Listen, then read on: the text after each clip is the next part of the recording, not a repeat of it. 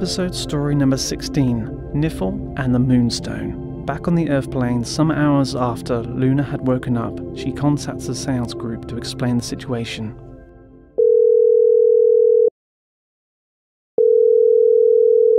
Hello, pass inside. Can I help you? Hello, dear. I'm sorry to contact you like this, but I need your help with some healing from your seance group for a friend in the spirit world. There is quietness and some mumbling. Then the other owner replies. Hello, can I ask who this is? Hello, dear one. Hello? My name is Luna. I have a friend who needs your help.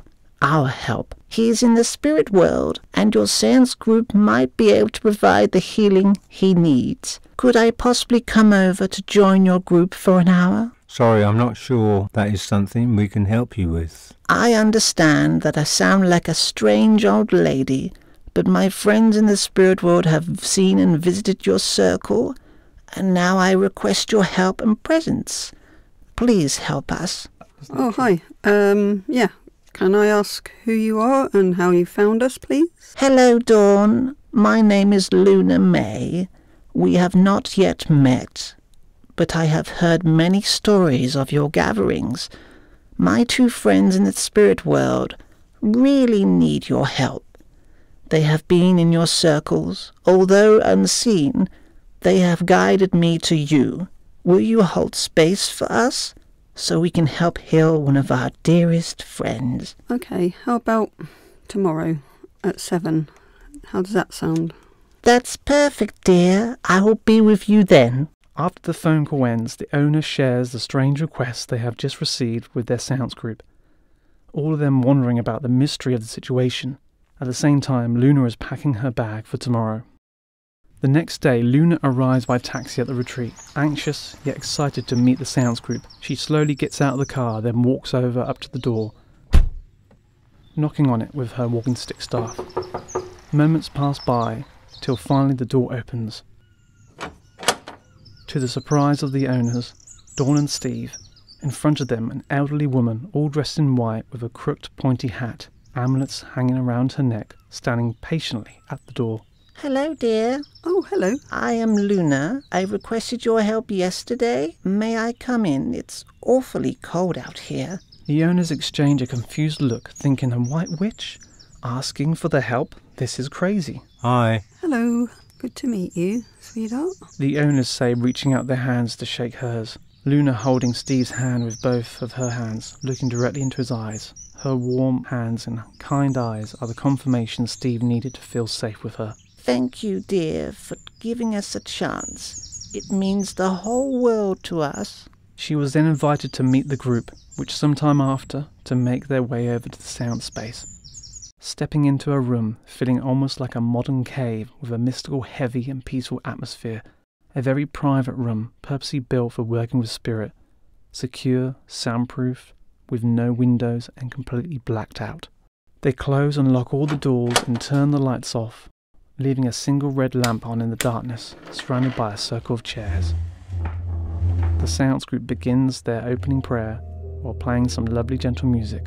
Almighty loving spirit, the creator of all things, our dear guides, welcome you to our, our um, unusual um, Thursday evening sitting. Call. Um, while we're sitting in the circle this evening, we ask for divine love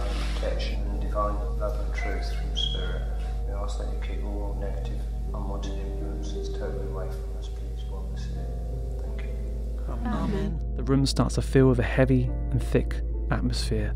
The small red lamp lights up their faces, and they all hold hands and sing. After some time, when the energy feels right, Luna explains the situation, preparing for the group healing energy. Mid, mid, mid. Suddenly, Meard and Niffle appear in the center of the circle. Meard waving his hand. Oh, look, look, there they are. Hello, friends. Luna says, looking down at the floor while the rest of the circle raise their eyebrows, not seeing the two non physical beings. Everyone, this is Niffle and Mid, but oh dear, Niffle doesn't look too good, does he, Mid? Although the rest of the group can't see them, they continue with the circle regardless. Hello, everyone. Hello, Luna. Work your magic, guys. Yes, dear. Niffle is the one in pain. Now let's all send our healing energies to help him. The group look down at the empty floor, not really fully understanding who or what is there, and thinking this old witch is crazy. But their physical medium starts to go deep into trance, and after a short while produces a large mass of white ectoplasm which floods the room like a mist. Niffle, remember the dreams, brother. Remember who you are. Luna reaches into her pocket to pull out the moonstone, while explaining to the group. When I let go of this moonstone, allow all of your combined group energy to focus in the center of the circle. Okay? Ready. Luna says, looking around at everyone. She lets go of the moonstone, and it gently rolls onto the floor and lands in front of Niffle.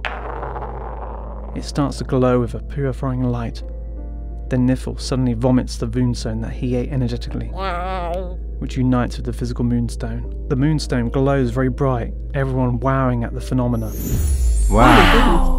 So, beautiful, the light. The light. This amulet will help heal you, Niffle. You just need to let it help you, boy. Meard reaches into his pocket for the astral dust and throws it over Niffle, which begins to shimmer around him. In turn, Meard dances around the circle, sprinkling more astral dust onto the ectoplasm. Luna walks over slowly to pick up the moonstone and touches it to Niffle's forehead.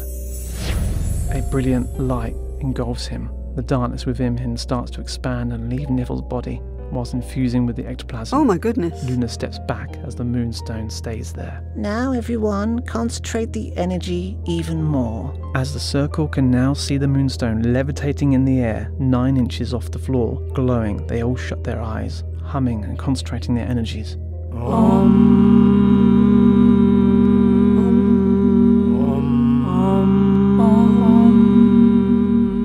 As a result, the ectoplasm merges with the moonstone amulet. Next, Meard ignites the mass with his magical cane. The energy expands and pulls together the ectoplasm mass into a form of a giant dragon. Its mouth opens, and with one large flap of its huge wings, it disperses all the energy within Niffle. The group energy and the ectoplasm mist. Wow, Wow, a dragon? Now the dragon plasm expands, and with a final flap of its giant wings, a short blast of ethereal light can be seen in the room, expanding outwards and focusing into the center. The ectoplasm dissolves, leaving a heavy mist that surrounds the sitters and moves and destroys the implant within Niffle, transforming all negative energy into positive energy. The dragon plasm mist slowly fading away, leaving behind the outline of two little beings clearly visible in the center of the circle. Wow. Oh, I see them. That was incredible. Niffle looks up to Luna. Thank you, everyone. I feel so much better. Are you back, brother? Are you still hungry? No, not hungry anymore. Thank you, Luna. I'm mad. And with that, Niffle reaches his hand up to thank Luna while she slowly bends down to kiss him on the forehead, taking back her moonstone, which has now dropped to the floor. In return, he kisses her on the cheek. The rest of the circle see the outline of a faint Niffle next to Luna's face, which slowly vanishes like a mist, leaving the outline of Meard waving his hand, slowly disappearing. Oh, look at him. The remaining ectoplasm mist gets sucked into the center of the circle, leaving behind a serene, glowing figure, the guardian of the dream worlds. The dragon plasm is now gone. Niffle, you are now healed. Your true purpose is restored. Niffle, now free from the dark energy, looks around with clear eyes. He sees Luna, Meard, and the Seance group looking so happy and with hope and relief. Thank you, all of you. You are back where you belong, Niffle. The dream worlds needs you. The guardian of the dream worlds, heard and seen by all the sitters, addresses to the group. The darkness is always a threat, but together we can protect the dreams of all beings. Let this be a reminder of the power of unity, light, and the importance of home circles. With greater light, bigger shadows emerge. Keep shining bright in the darkest of spaces. And so, with that, the guardian of the dream worlds vanishes, leaving everyone speechless. With Niffle healed and the threat of the darkness averted, the dream worlds are now safe once again. What new challenges and adventures await as Meard, and the new friends continue their journey of guardianship and discovery? The answers lies in the dreams yet to come.